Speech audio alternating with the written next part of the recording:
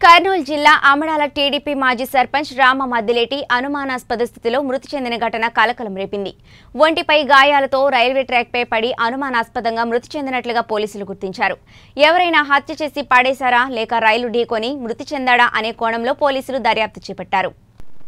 అమడాల TDP మాజీ సర్పంచ్ రామ మద్దిలేటి ఒంటిపై గాయాలతో రైల్వే ట్రాక్పై పడి అనుమానాస్పదంగా మృతి చెందడంతో పలు అనుమానాలు వ్యక్తమవుతున్నాయి. మృతుడు రామ మద్దిలేటి ఉదయం కాలకృత్యాలు తీర్చుకునేందుకు అమడాల గ్రామ సమీపంలోని రైల్వే ట్రాక్పైకి వెళ్ళినట్లుగా అనుమానాలు వ్యక్తమవుతున్నాయి.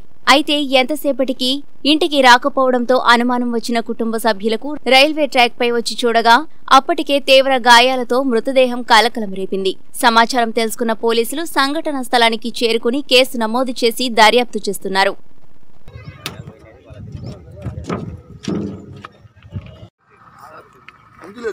పడతా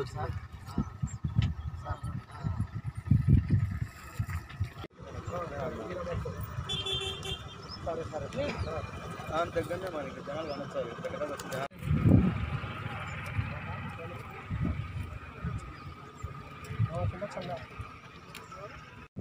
ఆనంద